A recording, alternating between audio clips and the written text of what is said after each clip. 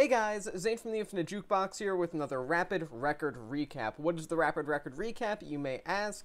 It's a monthly series I do on my channel where I talk about all the new releases I heard in a given month that I didn't get a chance to talk about in a full-length video, maybe because I didn't have enough opinions about it to really talk about in a full-length video, or maybe I just heard it a couple weeks too late, and by the time that I was ready to talk about it, I had other things on my plate.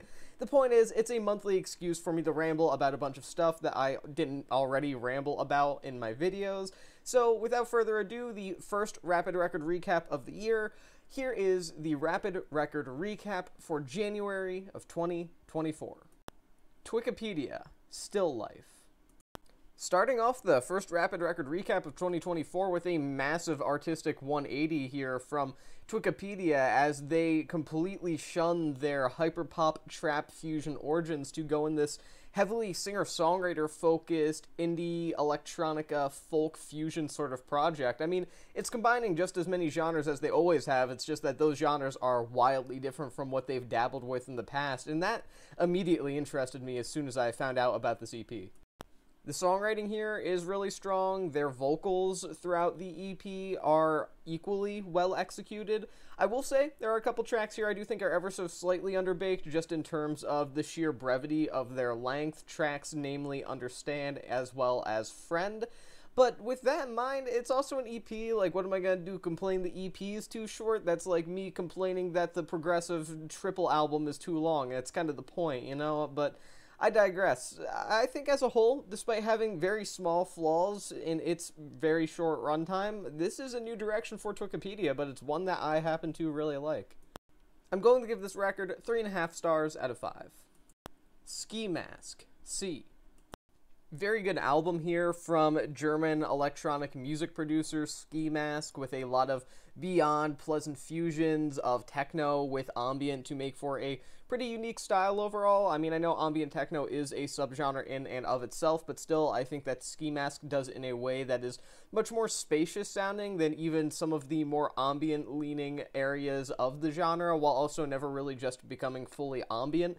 This record never really becomes total background music, and that's something that I deeply appreciate myself. It's constantly an active record sonically, but it's also one that you can definitely see yourself just diving deeper and deeper into as long as you're willing to just kind of let it take you away. And I mean, personally, I can really see myself getting more and more wrapped up in this one in the future. So, as it stands, I think this is a really impressive release. I'm going to give this record 3.5 stars out of 5. Kinoteki, Faith and The Vessel. Man, as far as like the first couple of weeks of January go, electronic music as an entire field, uh, it gave us a lot of really good stuff, like this Kinoteki record as well, with American footwork producer Kinoteki, uh, putting out one of the more notable electronic albums of the entirety of the month, one of the more generally well received electronic albums of the month. I mean, rightfully so. There's a lot of chaos going on here structurally, but it's handled extraordinarily well. At the same time, it feels like there's this overarching nocturnal kind of vibe about things, which is certainly hard to pull off when you have a genre like footwork that's known to be so heavily in your face at times. And I would also say that the album closer, Faith's theme has a sort of subtle, nuanced emotion to it compared to the rest of the album, while also not really differentiating itself too much sonically and going too off into the beaten path, that I feel like it works as a really nice emotional closer to the record. So, I mean, yeah, just a really good album overall. I'm going to give this record 3.5 stars out of 5. 21 Savage, American Dream. Finally, something here that I actually don't like that much. It took long enough. In all honesty, though, I don't really hate this. It's just kind of whatever, and I can definitely see why this got some fairly lukewarm reception overall. I mean, I think the fake biopic trailer was very cool promotion, and I think that it didn't really go super appreciated how much production value went into that. I also think that some of the instrumentals are solid, uh, you know, some okay features here and there, but also this isn't 21 at his most exciting. I'm not saying he sounds like he's phoning it in here, he just doesn't sound like he's doing anything that he's especially passionate about, and that kind of translates over to the listener as well. And the songwriting is very subpar, beyond subpar even at times, especially some of the uh, sex lines as well as the uh, now infamous "It smells like gas." I think somebody pooped line from "Pop Your Shit." we we gotta stop we gotta stop doing poo poo bars, please. But uh, yeah, as a whole, it, it, has its ups and downs, and after a couple listens, I'm just I'm neutral towards this uh, mostly. I'm going to give this record two and a half stars out of five. Folly Group, Down There. I would say that the dance punk oriented tracks are really what work best here, especially when you pair them with the sort of cartoonish lyrics and vocal performances that you have on songs like Strange Neighbor, for example. And I think that there's also some really good choruses here. I mean, tracks like New Feature and I'll Do What I Can are melodically very impressive and very distinct throughout the record, and as such, act as two pretty major album highlights for me overall. And there are some issues here. Admittedly, some of the more atmospheric post punk influenced moments, like Nest, for example, don't necessarily grab me as much as I was really hoping that they would going into the album. But I mean, still, they are solid instrumentally and they are executed well enough, and they don't make up the bulk of the record, so I can't complain too much there. And uh, yeah, as a whole, I just think that this is a fun, high energy debut from a band that you should probably keep your eye out for because I think that they really do have the ability to make some huge waves in the near future, especially with the massive amount of extremely creative punk bands and post punk bands out there right now. I'm going to give this record three and a half stars out of five. Kid Cudi, Insano. I don't think this is quite as bad as some people are making it out to be. I don't think it's his worst album whatsoever, but at the same time, uh, yeah, no, it's it's not good still. I mean, a lot of this is just extremely boring cookie cutter trap with Cudi sounding extremely disconnected from the material, extremely dull in terms of flow, lyrical style, pure presence.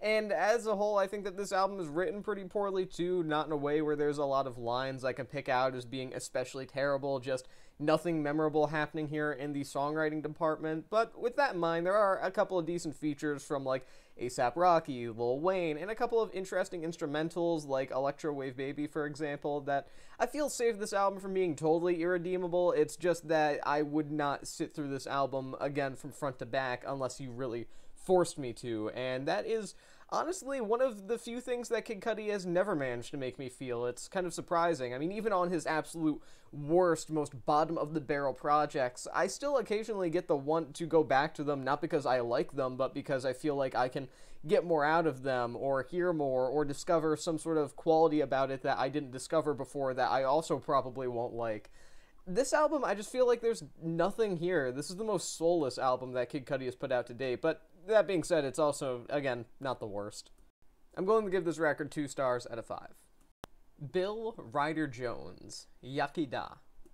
Singer, songwriter, and ex The Coral member Bill Ryder Jones back with another solo singer songwriter studio album, and it's a very good one from him with some crushingly sad lyrics at times, some of the finest introspective and powerful songwriting that we've seen from him today, and uh, generally a sense of hope for the future, kind of, sort of, especially when you pair them with those gorgeous, lush instrumentals that you find on a good chunk of the record. And as a whole, I think that dynamic is always pretty interesting to hear. I mean, having sad lyrics that are also not really that sad isn't really the most uh, singular thing in the world. There are other artists that do that quite often, but I feel like Ryder Jones's entire style is much more genuine than the vast majority of artists that try to be hopeful yet still extremely depressing in nature. It feels like it's coming from a very genuine place here, and I deeply admire it for that. Uh, that being said, there are a couple of passages I'm not a super huge fan of. For example, uh, the waltzing piano on How Beautiful I Am.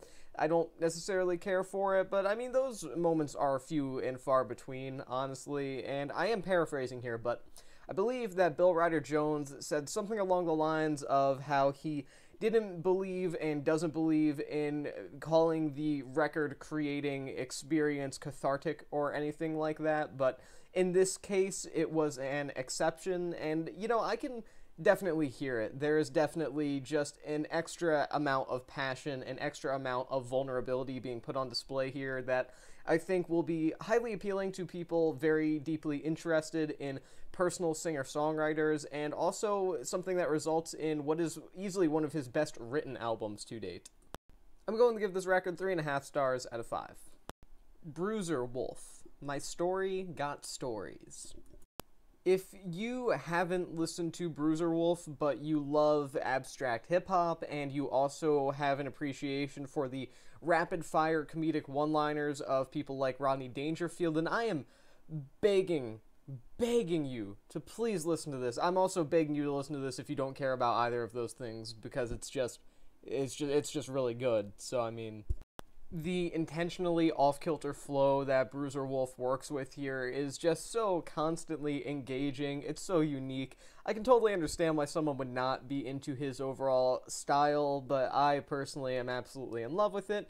And other tracks here, like Holler at Your Mans, that kind of see him go into more of a traditional groove with things, a more straightforward flow, are equally great and show that he is much more than just some sort of cartoonish persona that happens to be entertaining.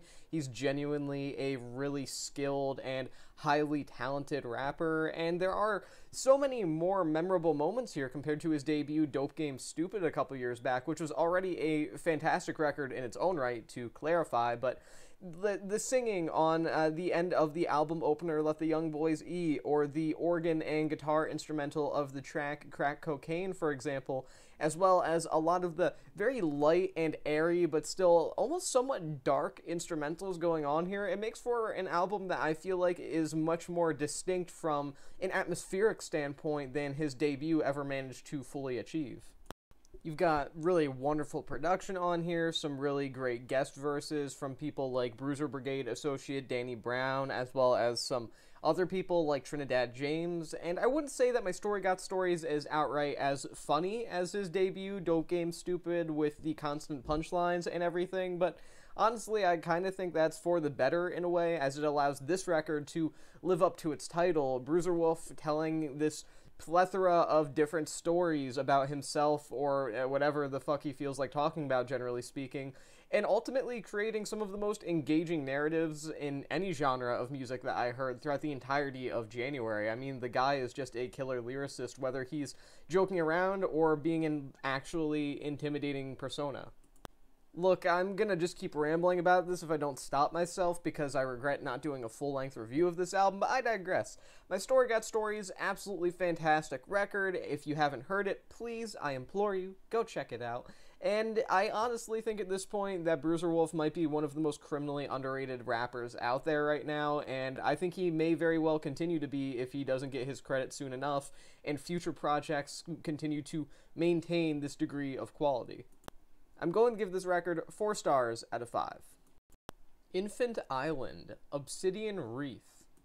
Jesus Christ, if you want to talk about heavy albums for January of this year, this fusion of screamo and post metal is one of the first things that I would personally bring up if that's what you're really looking for. I mean, goddamn, just these giant waves of noise and intensity crashing down on the listener. And I think, considering those genres, if you know anything about their traditional sounds, being fused together goes without saying. it's a pretty it's a pretty heavy album overall, almost to a fault at times. I do think that the pure sheer density of things here can kind of become a bit overwhelming, not necessarily in that it's hard to take, but that certain other moments, like some of the ambient passages, which are dense in their own right, don't really shine as much as they would in a more sparse setting. Uh, that being said, as a whole, great vocal work, excellent instrumentation, very, very good record that just has a, a couple of nitpicky kind of flaws here or there that I have with it. I'm going to give this record 3.5 stars out of 5.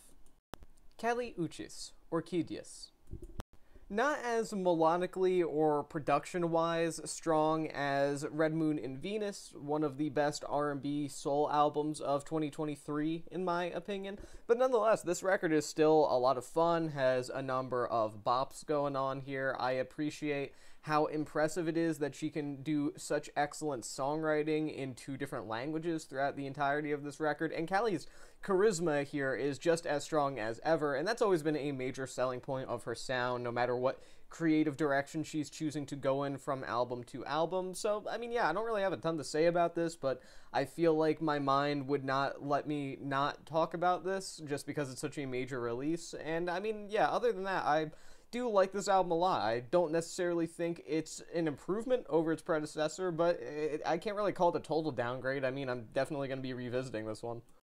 I'm going to give this record three and a half stars out of five. Slift, Ilion.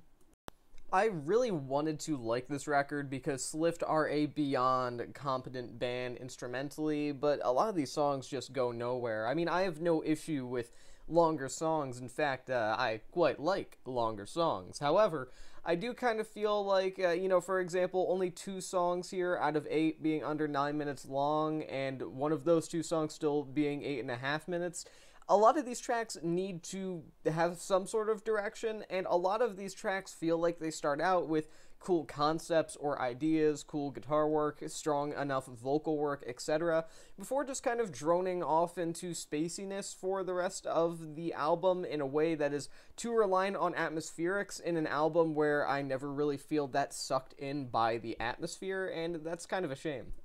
I do like some of Slift's work in general, but I will say this. I will I will say I do recommend it. If you're really into that sort of spacey prog stoner kind of stuff uh, of recent years that's more heavily influenced by classic 60s and 70s bands of a similar vein like Hawkwind compared to the 90s space rock revival which was at times significantly more melancholy in nature. That being said this record in particular uh, just not for me but if that's something that interests you I, i'd say go check it out I'm going to give this record two and a half stars out of five.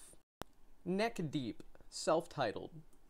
The latest studio album from solid pop punk band Neck Deep here, or at least I would generally call them solid if it wasn't for the fact that this album right here, despite not being great, is a major, major improvement over the almost impressively unmemorable 2020 album All Distortions Are International.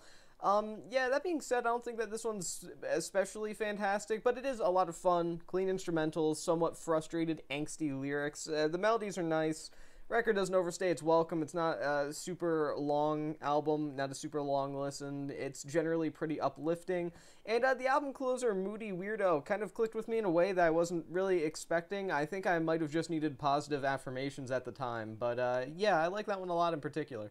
Yeah, I just re-listened to Moody Weirdo. I think I just needed a dumb pop punk song to, you know, bring up my spirits that day. But I mean, it's still a good track and it's still a decent album. I'm going to give this record three stars out of five.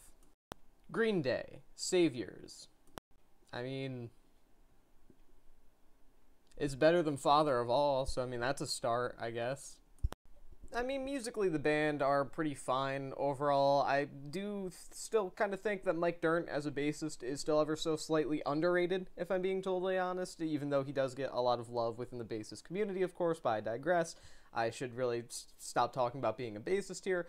My point is, I, I think that the production here is extremely flat, and there are some pretty terrible lyrics here, too, like the corny rock and roll nostalgia on Corvette Summer, for example, as well as the extremely forced and unwelcome TikTok and Instagram references on The American Dream is Killing Me and Susie Chapstick, respectively. But, I mean, credit for the band for actually putting out something that at least sounds like they tried compared to their last couple of albums, actually. And credit to Billie Joe Armstrong for still being a surprisingly decent vocalist all these years later. I mean, he doesn't sound like the snot nosed kid that he was back in 1990, whatever, but uh, that kind of happens when you aren't 19 anymore, so uh, I understand. I'm going to give this record two and a half stars out of five.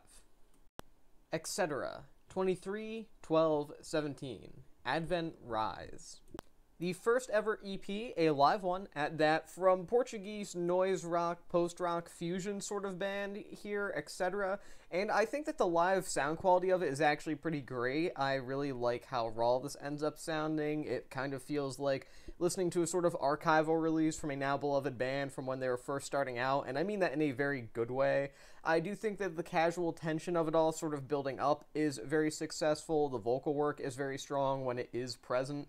And there's a nicely executed, ominous, but at the same time still very emotional and vulnerable atmosphere here that makes me really excited to see what this band end up doing next. I mean, you don't see that many great EPs that are debuts from artists like this one. Most of the time, they feel kind of underbaked because the band or artist in question hasn't found their footing yet. But here, I feel like Ekcetera kind of have, at least for the most part, and that just makes me excited to see what they do next. I'm going to give this record three and a half stars out of five. Katy Kirby, Blue Raspberry. Probably the best songwriting that we've gotten from Katy Kirby yet is here on this record with some really excellent lyricism, some nice, lush instrumentals, some solid vocal work from her. She has an excellent voice that's very well suited for this heavily introspective and vulnerable sort of indie folk. I think that the overarching themes of exploring romance and love from a queer perspective are always very interesting to see here, and the recurring lyrical motif of cubic zirconia is uh, kind of bizarre in concept, but ends up working out really well. Uh, yeah, as a whole, I think that this is just a very inspired, very well written singer songwriter album that I think you should check out if that's kind of your vibe. I'm going to give this record three and a half stars out of five. Caligula's Horse, Charcoal Grace. Solid album here from Caligula's Horse, one of the more notable prog bands to debut within the last 10 15 years or so. And yeah, I mean, it's, it's pretty cool. It's for sure one of those albums that you're only really going to dig on in any way if you are already into prog, if you're already into progressive rock and metal, and even then, I am and I, I still don't totally click with a couple of qualities regarding this record. For example, uh, not super into Jim Grey's vocals, just because that's you know my personal taste. But even then, the four-part title track in particular is very good, and guitarist Sam Vallon provides a really nice shine to this record as a producer that works well for it. And as a whole, I think that this is a very technically impressive and sonically impressive album. I'm going to give this record three stars out of five. Lockslip self titled.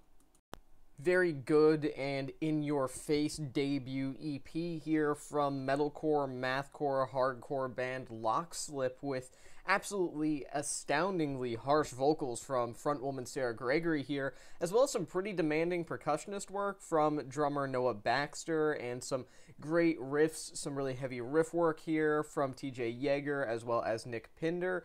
Uh, yeah, I'm really excited to see what this band do next. It's just a super brief but intense listen. It's a really phenomenal debut, and if they happen to put out a full length LP in the future, I will absolutely be there to hear it. I'm going to give this record three and a half stars out of five. Dissimulator, lower form resistance. Few things on this planet bring me more joy than highly weird and technical death metal and thrash metal from Canada, which, uh, for all of the non metal fans out there, is honestly way more common than you might expect. And I would say that Dissimulator here are a really fantastic example of that kind of sound in the modern day when some of the most famous Canadian thrash and tech thrash bands and tech death bands come from the 80s and 90s primarily. There's tons of cool, often rigid riffs here, a lot of almost funk adjacent, deeply punchy bass lines. And while you could argue that some tracks, such as the title track for example, are a bit derivative of 80s and 90s avant garde metal oddities like Voivod, for example, whose album Nothing Face from 1989 I just held up in a vain attempt to make myself look cool. I don't really think that that's a bad thing per se. I mean, if you're like me and you love that kind of sound, so I mean, yeah, I think this is a very strong listen. I'm going to give this record three and a half stars out of five. Future Islands People Who Aren't There Anymore. Musically, this is a super strong album from Future Islands. Some of the best melodies and choruses that we've ever gotten from them are here on this record, which is surprising considering this comes at a point that is arguably, at least in many people's eyes, well after their peak long ago, nearly a decade ago at this point. But with tracks like the back to back album openers King of Sweden and The Tower, this is a pretty undeniable slice of artsy synth pop from an instrumental standpoint and from a compositional standpoint. Where my primary personal gripe comes in is just in Sam Herring's warbling vocal style, which I feel doesn't ever really quite well meld well with the sound here. That that's just a matter of personal taste, though. I mean, everything on this channel is, but I don't know. I just I don't like the guy's vocal style that much, and maybe this album just needs more time to click with me. But as it stands, I do enjoy this record. It's just that the vocals drag it down for me a lot. I'm going to give this record three stars out of five. Masta Ace and Marco Polo, Richmond Hill. The second full length collaboration between legendary cult rapper Masta Ace as well as very well liked producer Marco Polo, who have a history together dating back to the early 2000s, with this also being their first collaborative studio album since 2018's A Brooklyn Story, and it is uh, very good. The instrumentals sound great. They manage to feel very grand, but at the same time come across as cold enough and dirty enough at times to not necessarily feel overproduced, but at the same time you have some horns here and there that kind of give everything a more lush sort of feel at the same time. Uh, Masta Ace himself sounds absolutely phenomenal as always. The guy is considered a rapper's rapper for a reason at this point, and he's never really put out anything weak from the perspective of actual flow and lyrical delivery.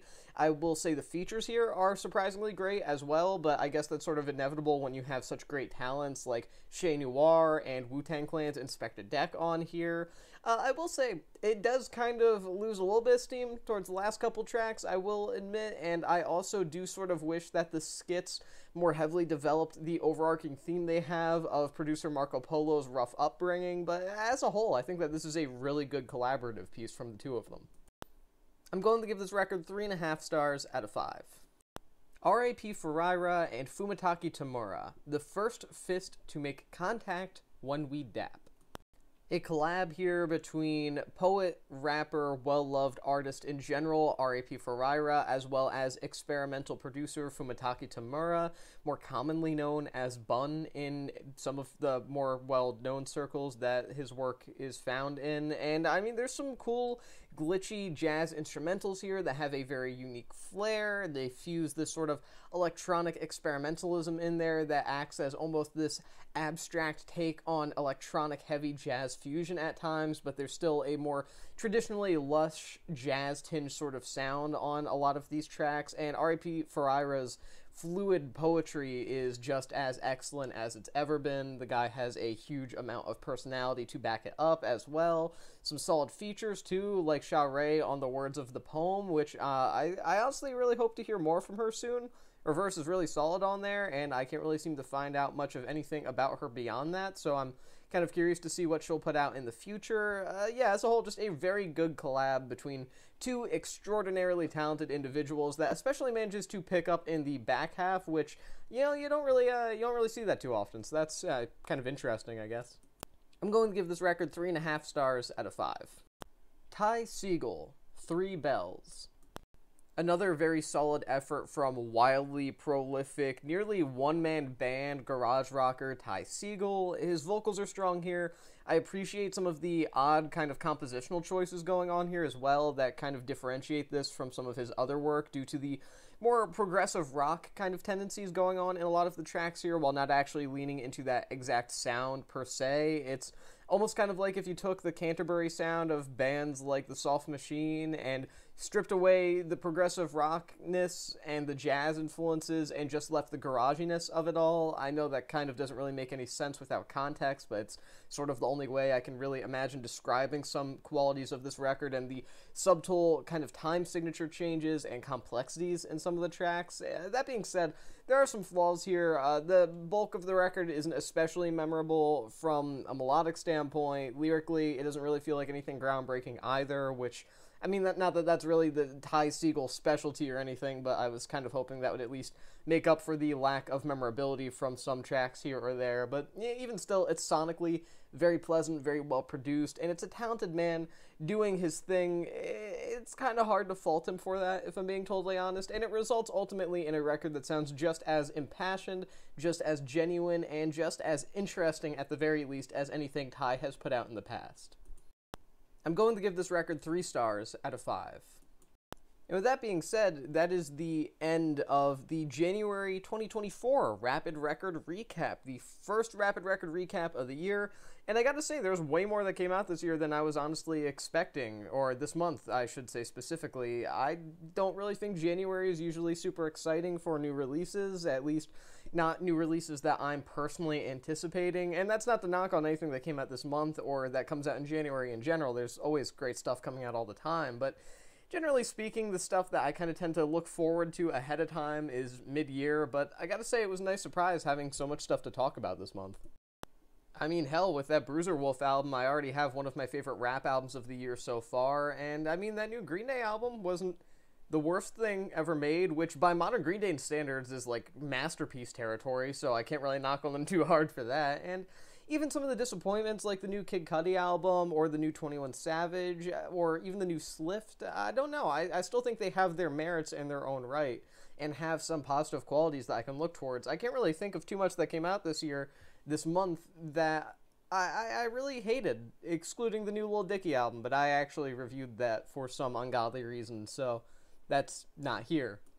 I digress. That's the end of the January 2024 Rapid Record Recap, and with that being said, that's the end of this video. I've been Zane from the Infinite Jukebox. Thank you for watching, and I'll see you guys in the next one.